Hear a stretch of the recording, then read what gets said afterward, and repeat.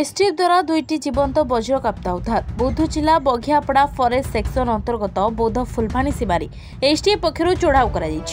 বজ্রকাপ্তা deal চালা বেড়ে হঠাৎ মাড়ি বসিছি এসটিএফ টিম দুইটি বজ্রকাপ্তা উদ্ধার করা সহ দুইজন শিকারীকে মধ্য ধরিছেন এসটিএফ টিম দুই শিকারী বাঘিয়াপড়া অন্তর্গত জামুখোল গ্রামর বলে জনাপড়ি তবে দুইকু এসটিএফ মুখ্যালয়কু নিয়ে যাই বেড়ে এমান সহ আউ কিয়ে কিয়ে সামিল লে সে নিয়ে অধিক তদন্ত চালছে बौद्धर Sharad Muduli report focus plus